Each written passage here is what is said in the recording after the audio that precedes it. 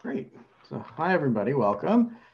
My name is David Ezer. I'm the Vice President of Programs with Jewish Funders Network and proud to be partnering with JFNA and the General Assembly and, and especially our, our speakers here today from UJA New York. And pleased to welcome you to today's Success Factor session on raising awareness. Hope you had a good experience in your first uh, session earlier. And, and I've just listened through the, the, the program here on the first one. And really, this is it just it's incredible work. And, very excited uh, to bring this. So our speakers today are, are both with UJA New York. We have Ariella Goldfein, the Major Gifts Officer, and Alex Roth Kahn, Managing Director of the Caring Department. And so with uh, our, our second here 20 minute success factor, I'm happy to turn it over to Alex to get going. And Ariella, if you want to restart the slideshow, or, oh, you're already in business. Okay. Okay, great. Welcome, everyone. Uh, wonderful to see all of you. Uh, as, as you just heard, my name is Alex Roth Kahn, and I serve as the managing director of what we call the Caring Department, which is really the Human Service Division of UJA Federation. And I'm here with my colleague, Ariella Goldfein, who is a major gifts officer and works in our capital and special initiatives department. And we're both uh, really excited to chat with you about the work that we're doing. Um, before we dive into what we have done, I just wanted to start with some context, and I believe Ariel has already moved us to the next slide. So just like all of you, uh, poverty is core to our mission. Through targeted grant making in the caring department and through unrestricted core operating dollars that UJA Federation makes available to partner organizations under our umbrella, we allocate $28 million annually to fight poverty. And despite our longstanding efforts, the numbers of those struggling continue to still be so high. There are 3 million New Yorkers living near or below poverty, including more than 500,000 individuals living in poor and near poor Jewish households. We seized the opportunity of our centennial, which was uh, about three years ago, to launch a very special capital campaign focused on fighting poverty, which we call Upward New York. And later on, we're going to talk about the importance of that name and how name gives life. Uh, Upward New York is composed of two uh, primary components. One, building a one stop social service hub in two areas, really two hubs, uh, in areas of dense Jewish poverty in our community, and also launching a digital pantry system that allows people to choose food for themselves off of a screen. It's incentivized by a point system and it links back to a central warehouse. So, right off the bat, I can share three reflections with you that really help to position us well to amplify our message. One, as I mentioned, we took advantage of our centennial as a timely milestone when we had um, a great audience around us all the time.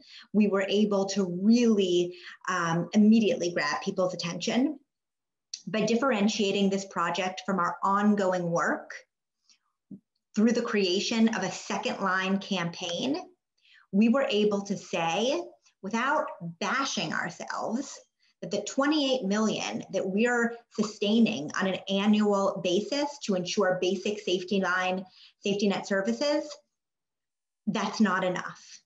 In creating a second line campaign we drew the attention of saying we're really carrying the ship here. We are doing the we are ensuring through our, our funding the day-to-day work happens to secure a safety net for the communities most vulnerable. But still, New Yorkers, please listen. This money, it's not enough.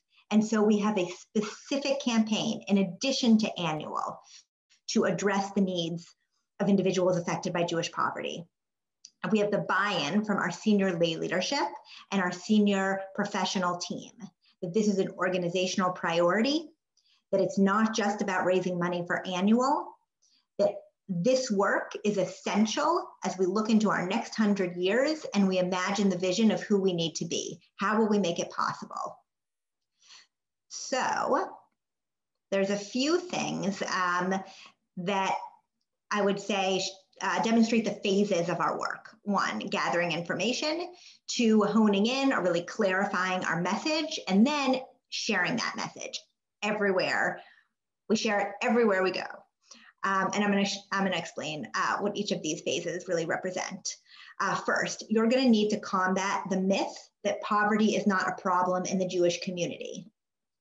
You are going to encounter, you probably do all the time, many people who don't see Jewish poverty, who don't understand it, who believe that it's driven by factors that are inaccurate, if it exists at all. And so it will be critical for you to have data and demographics on hand to make the case as to why this is important. We uh, historically have run a Jewish community study uh, every 10 years. It has a compendium piece specifically on poverty. We're now going to start to do that every two to three years. But um, at the point that we launched this project, we were relying on the uh, decade wide data. And the strength of that data really helped us to make the case. So we know um, as I mentioned before, that there are over 500,000 individuals living in poor and near, Jew- poor and near poor Jewish households.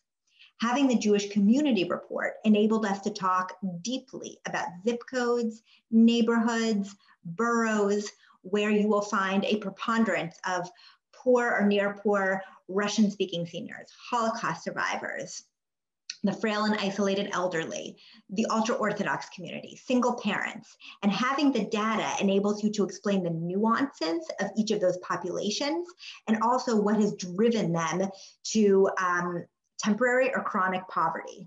Having the information on hand to really paint the picture is essential. Um, nearly every communication that we put out about regarding Upward New York is chock full of data and it helps people to understand the scope and the scale of the challenge. But it's also true that different people process information in different ways. So having stories with you at all time, stories that will um, pull on people's heartstrings, that will enable them to empathize deeply with the client, and um, effectively articulate the ROI, the return on investment for the philanthropic dollar on behalf of that client. So if you're able to say, client X came in, and as a result, we were able to do X, Y, or Z, provide X, Y, or Z intervention and monetize that, explain how that increased cash assets or um, put that individual on a path towards self sufficiency, really explain how the philanthropic dollar is leveraged to enable the client to thrive. Uh, and with that, I'm going to turn it over to Ariella. Thanks, Alex.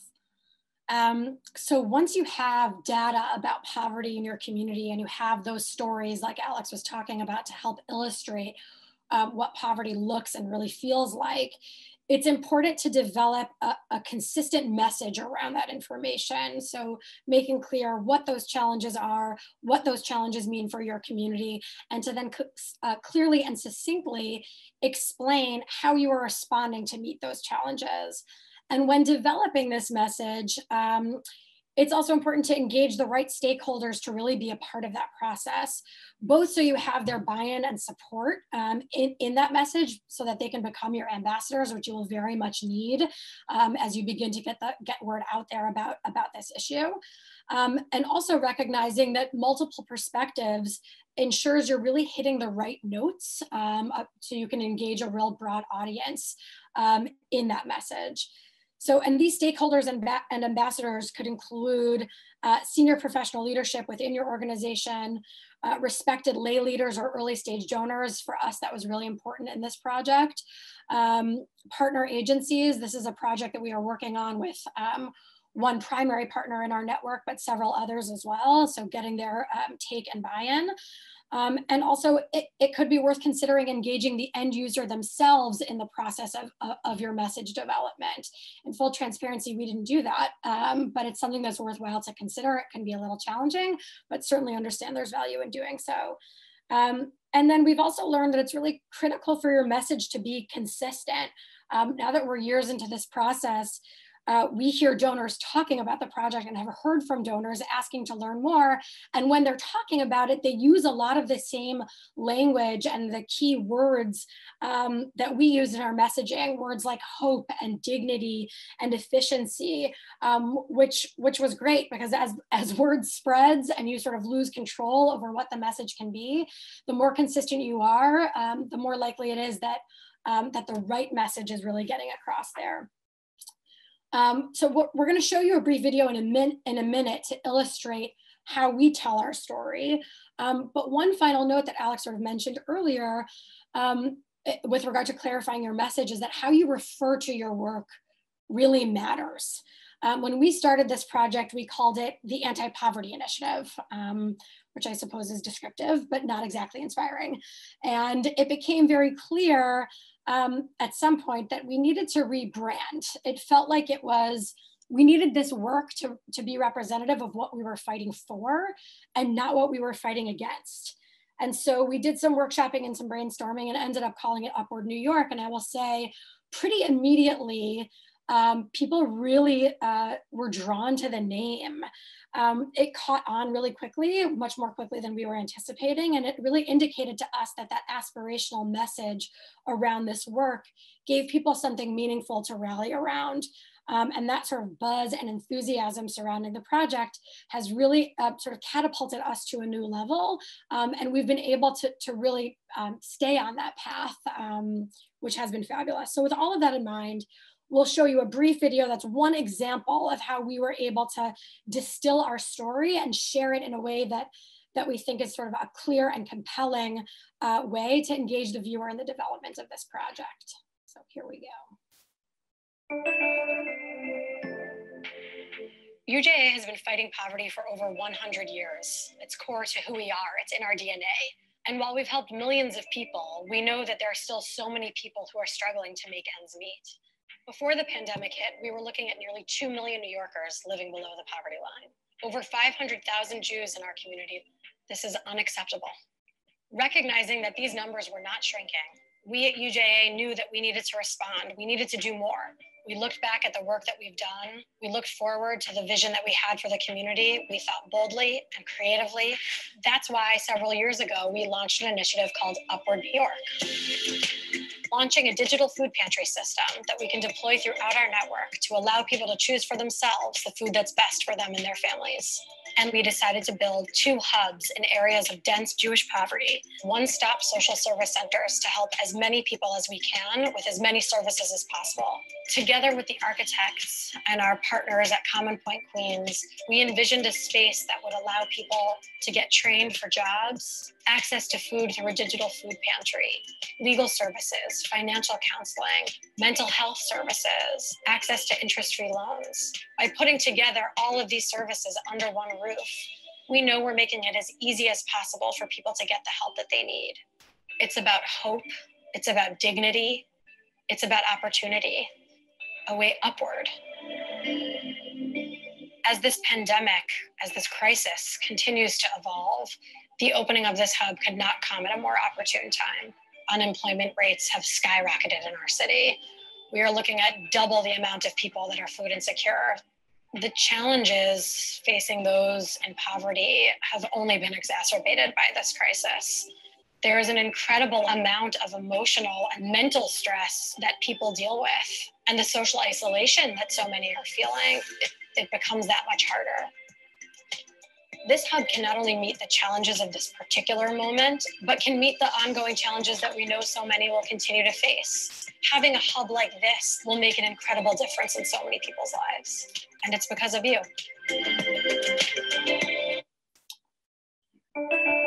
Sorry about that.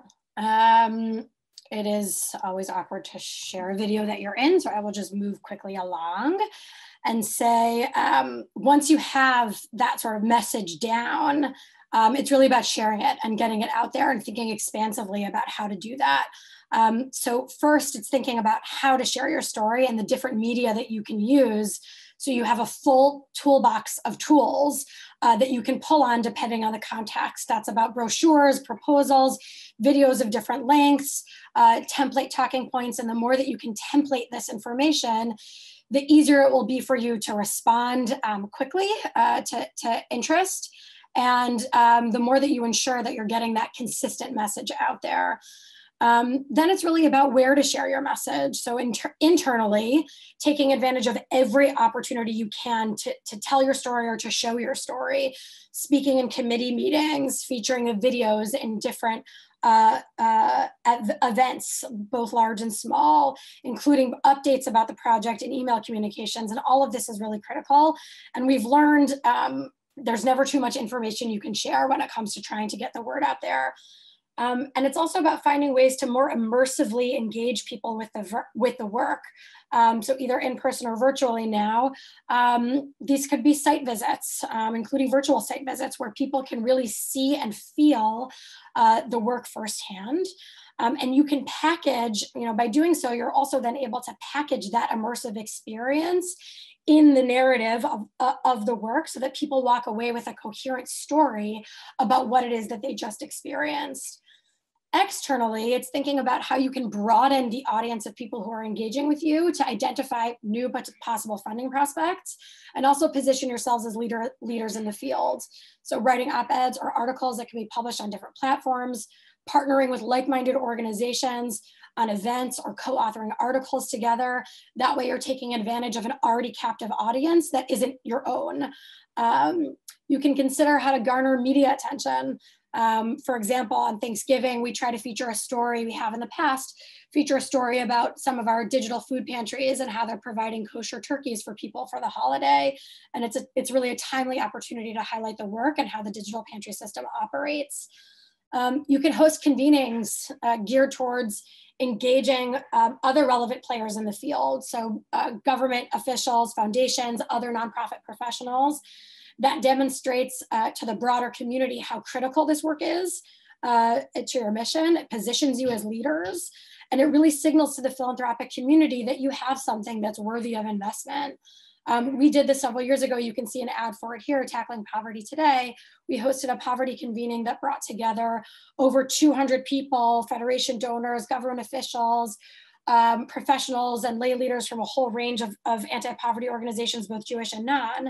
Um, and that was another time, in addition to changing our name, that really helped elevate uh, this issue and take, take this work really to another level um, and engage even more people in, in this work. Um, and the last point that I'd make, and I know we're short on time, is really that um, your message in, in its entirety might not always be relevant for every audience you're speaking to. You can tailor your message to the audience, and that means you can dial up or dial down different parts of the project depending on who you're talking to. So if you're speaking, you know, for example, for me, when I'm speaking to a group of healthcare professionals, I talk a lot more about the digital pantry system and how it incentivizes healthy choices than I'll talk about the legal services or financial counseling. That's also a core piece of this project. Um, this is true also when it comes to the Jewish focus of our work.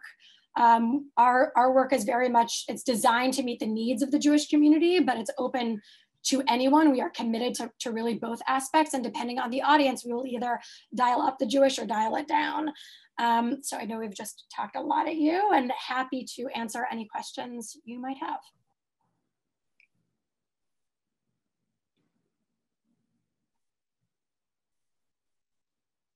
Someone has to have a question. There's got to be at least one, right?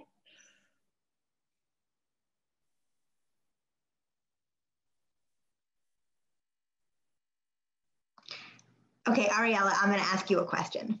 Yes, Alex. what, what has surprised you most about um, trying to raise visibility for this work and either reticence from the donor community to get involved or uh, times that it has been really easy to ensure and promote engagement? Great question, Alex.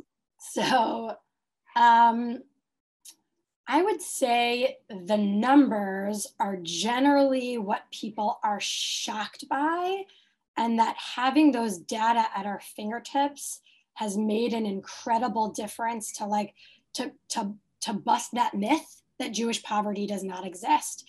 And I think when we first sort of start our story with that, the response is generally, What? I had no idea. Um, and that sort of that is really a hook to engaging people in um, in what we're doing in order to respond to that. Um, so that surprised me just, you know, in a sense, we've been doing this for so long and tell the story, you sometimes get immune to it. Um, but hearing people's reaction um, is, is never stops being, being really powerful. Um, so yeah, that's what I say. Looks like there's a question in the chat uh, from Lisa. She says, uh, can you explain a little bit about how your digital pantry works? You want to take that or would you like me to? Sure. Um, so the digital pantry, it, it's a cloud-based system that people can really access from anywhere. Um, it uses a point system. So families are allocated a certain number of points that they can spend in a month, depending on the size of their family. And they can log on and choose from a, uh, different uh, categories of food like grains, proteins, fruits and vegetables to be sure that they're getting you know, a balanced sort of package of food. Um, and uh, healthy choices are incentivized through the system. So healthier, so for example, whole wheat pasta costs fewer points than white pasta. So your points will actually take you farther if you're choosing healthier options as opposed to our food system, which works very much the opposite. Um, and um, it can be accessed from anywhere. Like I said, one of the best parts about this is that it makes it much more convenient. Um, you can pick, uh, choose a, a, time to pick up your package. So for the single mom that's working two jobs and dealing with, you know, shuttling her kids to childcare, to be able to pick up her package, you know, at six o'clock in the morning or seven o'clock at night when she's go- coming or going, um, makes it a lot easier for her to get the food that she needs instead of waiting in a line, you know, at 12 o'clock p.m. in the middle of the day when she's at work and, and doesn't have easy vacation time. Um, very quick synopsis. Alex, did I miss anything? Yeah, um, no, but I wanted to add um, in relation to what this uh, breakout is all about. You know, the digital pantry is really a game changer here for us. Uh, it has enabled us to uh, almost quadruple our client base in some cases uh, because the access is so easy. And part of how we amplify the story and really get it out is to partner with our government relations colleagues so that they're constantly sharing the successes uh, with elected officials and in Albany to the degree that um, I'm sure all of you across the country and throughout North America were watching the crazy situation that began here in early March when New Rochelle was shut down and the National Guard was brought in to deliver food. And that then had a ripple effect throughout um, our whole catchment area in which government was delivering food in schools in those first few weeks in March the governor's office said to us, "We heard you have a digital pantry. Can you just get it out? Can you just put screens on people in people's houses and then they'll order food?" So first reaction, the governor's calling us. This is amazing. We should do it. And then we quickly realized within a matter of minutes that our food is sourced from Met Council on Jewish Poverty. It is uh, by and large the uh, central repository for kosher protein from uh, Food Bank and City Harvest, and there's really no need for a kosher warehouse to service New York State, let alone the majority of New Yorkers. Uh, and the system is still fragile. It, it was certainly not uh, tech-wise able to address the needs of a global pandemic for all residents of our state. And if you don't know um, what they call downstate, it's quite far away from upstate New York. But the real point there is that we had done such a great job advocating in regards to the work and sharing the story with elected officials that they knew about it. And they knew to say, at least ask the question, could this work for us?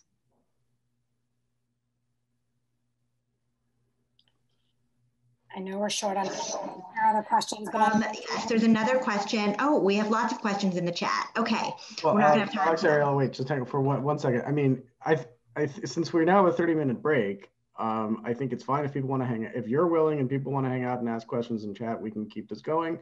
If other people would like to leave, you know, maybe we should just bring a pause. So if people do need to go, they can go. I'm putting a link in the chat, which is where everybody will resume at 2.10 Eastern, 11.10 Pacific.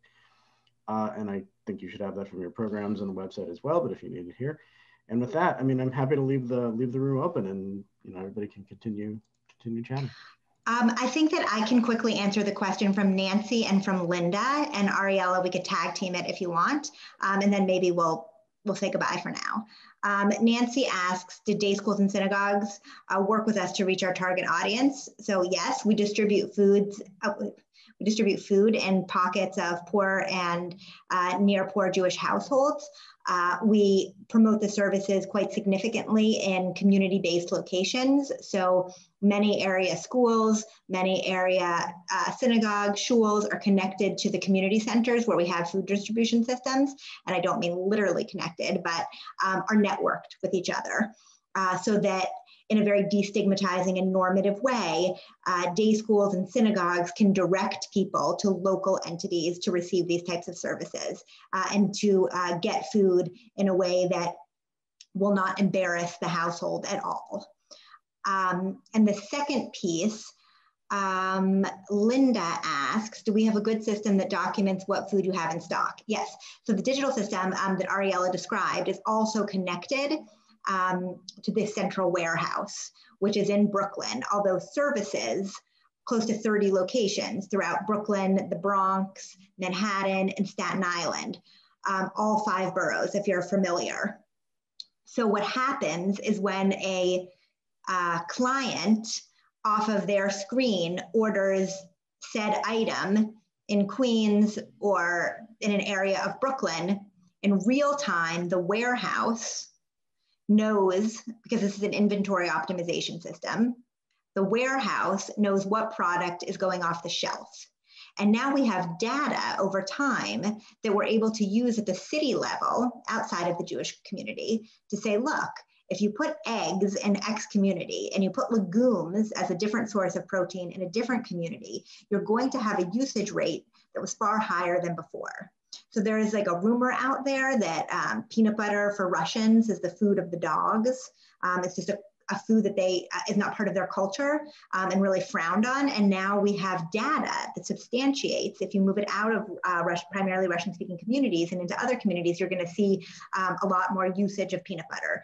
And that type of data has been extremely helpful, and it's enabled us to really promote uh, efficiencies across the system and to reduce waste. Thank you. Well, thank you all so much. Great to meet everyone.